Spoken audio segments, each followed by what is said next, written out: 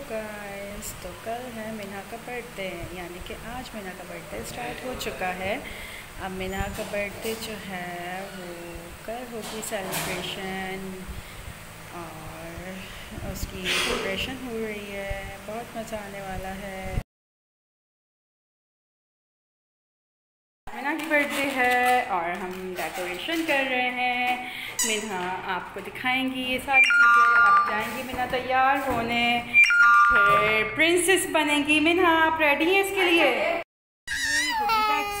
hello kitty के